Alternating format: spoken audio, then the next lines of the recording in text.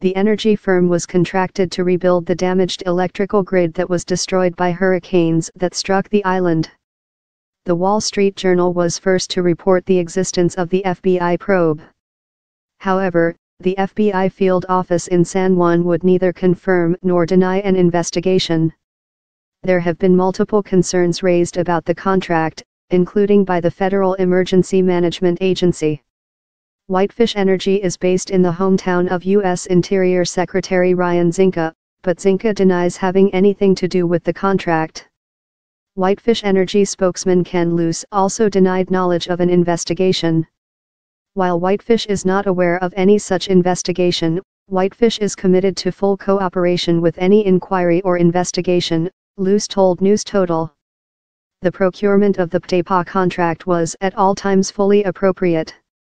Our focus continues to be on our work in Puerto Rico, completing the work PREPA has tasked Whitefish to complete including the repair of the second major transmission line.